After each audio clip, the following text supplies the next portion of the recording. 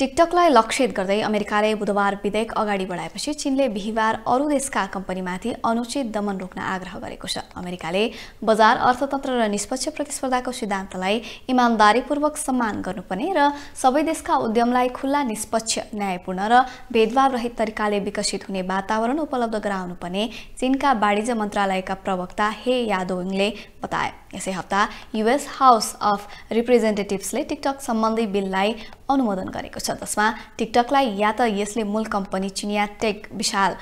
बाइडान्सबाट अलग हुनुपर्ने वा राष्ट्रव्यापी प्रतिबन्धको सामना गर्नुपर्ने जनाइएको थियो